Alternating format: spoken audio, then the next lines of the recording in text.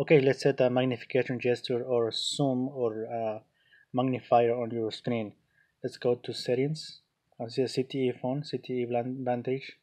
And now let's go to uh, find accessibility okay? Okay that's the option accessibility.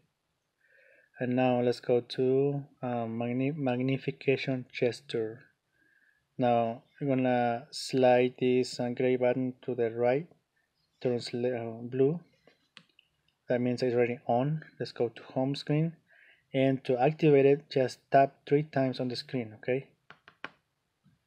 Okay. Now to move around your um, magnifier place two fingers inside of the screen and move it around wherever you want to go okay?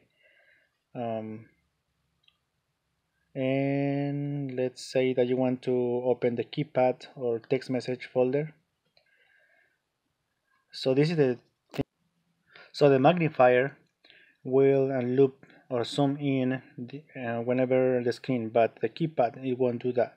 So you want to make your letters and numbers bigger press little icon to the very left top of this section and another option when I open. So go to resize and to make it your keypad larger just move up and now your numbers and letters will be show bigger. So that's the option that you can use to make the keypad um, zoom in okay? So um, that's it. And if you have any other questions on this uh, feature please let me know in comments.